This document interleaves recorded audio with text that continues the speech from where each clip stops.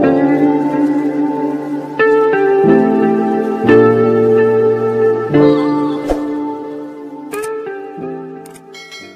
Ivan සුබම් සුදසාක වට මෙසිම සදත්තාවකට වටනාගෙන වැදගත් වීඩියෝ කරන සාර්ථකව පොලිසක් මල්ලේ කහවගාවක මූලාරම්භේ පටන්ගන්න කොහොඳ කියලා දැනුම එකතු කරල දෙන්න තමයි අද දිනේදී බලාපොරොත්තු.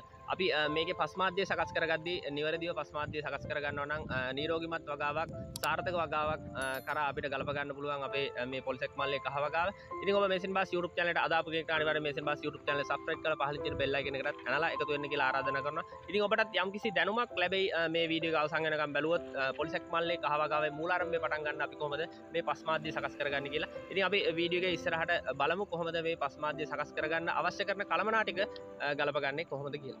ඉතින් විශේෂයෙන් ඔබගේ අවධානය පිණිස තවත් පුංචි කොටසක් එකතු කරන්න හිතනවා මෙසන් බස්තු මේකට ගොඩ දෙනෙක් කතා කරලා ඇහුවා මේ බීජ ලබා ගැනීමේදී සැලකිලිමත් වෙන්න ඕන මූලික කරුණු මොනවද කියලා. අනිවාර්යෙන් ඔබ බීජ ලබා ගැනීමේදී සැලකිලිමත් වෙන්න මූලික කරුණක් තමයි ඒ වගාව නිරෝගීමත්ද නැද්ද යන්න ඒ වගේම ඒ වගාවට මාස 11ක් 12ක්වත් කල් පිරලාද නැද්ද යන්න විශ්වාසය මත දරාගෙන තමයි බීජ ලබා ගන්න ඕනේ. ඉතින් කුරිය මගින් එහෙම ඔබ බීජ ලබා ගන්න උත්සාහ කරන්න එපා. ඔබ සාර්ථක වෙන්න තියෙන ඉඩකඩ ගොඩක් අඩුයි. ඉතින් මේ කූරිය කරලා බීජ ලබා ගැනීමේදී ඔබට අනිවාර්යෙන් දවස් 3-4ක්වත් යනවා ඔබට බීජ ලබා ගන්න. ඒක ලැබෙන්න. ඊට පස්සේ පාර්සලේ තෙත පිටින් වගේ පැක් කරලා තිබ්බොත් අනිවාර්යෙන් ඒවා ඔබට ලැබෙදි සෞත් වෙන්න තියෙන ඉඩකඩ වැඩි. ඒ වගේම තමයි නොමේරු බීජ ලැබුණොත් ඔබට නැවත රිටර්න් කරන්න බෑ. ඒක ගැන අවධානය යොමු කරන්න කියලා පුංචි පණිවිඩයක් දෙනවා. ඉතින් පොලිසක් මල්ලේ සාර්ථක වගාවක් කරලා සාර්ථක අස්සන්නක් ගන්න අපිට අවශ්‍ය කරන මූලිකව දහය අපි දහයට එක ගෙනල්ලා පුච්ච ගන්න ඕනේ. ඉතින් මේක පායන කාල සීමාවක තමයි අපි කරන්න ඕනේ. ඉතින් වැහි කාල සීමාවක් කරද්දී අපිට අමාරුයි. මේක මොකද පැය 7-8ක් වගේ යනවා. මේක පිලිස්සිලා අවසන් වෙන්න. ඉතින් අපි මේක අලු වෙන්න නොදී නිවා ගන්න ඕනේ. ඉතින් මේ පුංචි කොටස් ටික ඔබට ඉදිරියේදී බලන්න පුළුවන්.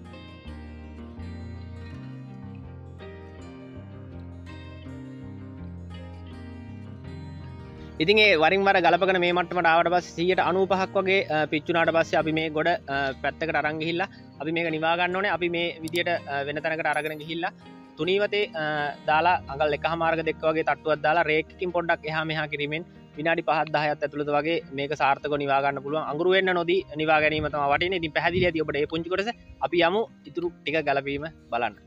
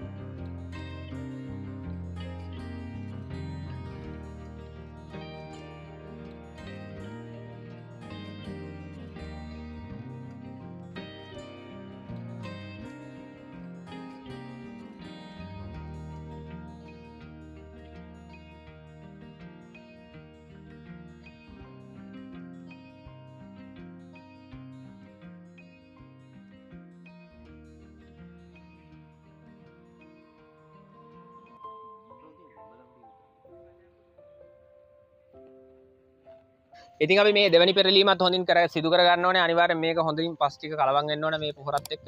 මේ කර 10ට ගෙම හොඳින් කලවම් වුණාට පස්සේ තමයි අවශ්‍ය කරන හොඳ පස් මාධ්‍යයක් සකස් වෙන්නේ අපි. ඉතින් මේසෙන් බස් අද දිනේ යොදාගත්තේ මේකට මතු පිට පස් කොටස් දෙකක් ඒ වගේම කර 10 කොටස් එකක් ඒ වගේම එළු පොහොර සහ කුකුල් පොහොර කොටස් එකක් විදිහට තමයි යොදාගත්තේ. ඉතින් ඔබට මතු පිට පස් කොටස් එකක් ඒ වගේම සත්ත්ව පොහොර කොටස් එකක් කර 10 කොටස් එකක් විදිහට යොදා ගන්න පුළුවන් නම් ගොඩක් වටිනවා. ඉතින් ඔබගේ පසත් එක්ක තමයි මේ එකතු කර ගැනීම තීරණය වෙන්නේ.